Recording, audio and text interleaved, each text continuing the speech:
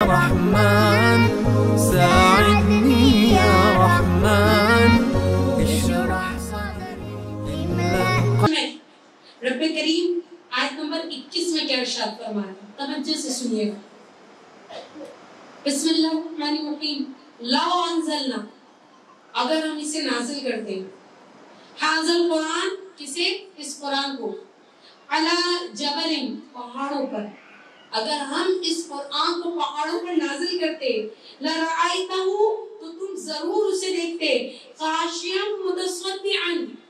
तुम देखते, इन्हें खाशियन डरते हुए। मिन खशियतिल्लाह, अल्लाह के खौफ से।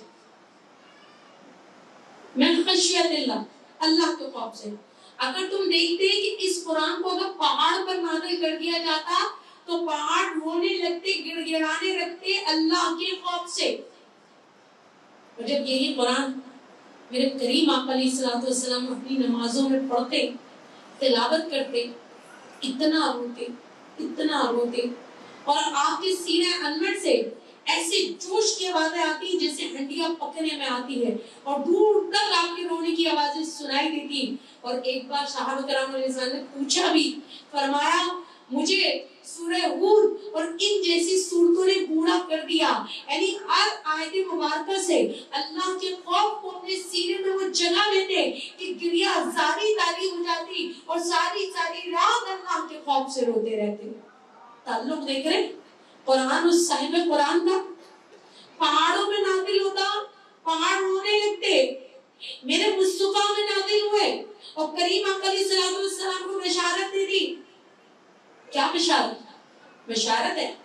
आपके सबब से तो आपके अगलों के पिछलों के गुनाह माफ़ हो जाएँगे।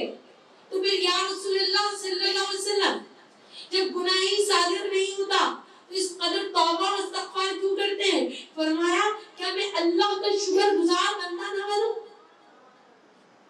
कोई गुनाह किया ही नहीं। गुनाह करने की कुदरत ही नहीं। गुनाह स्वादिर हो नहीं सकता। इनसे नबी कहते ही उसे है। जिसे अल्लाह करीम ने गुनाहों से पाक कर दिया मुबर्रा कर दिया मुनस्सा कर दिया।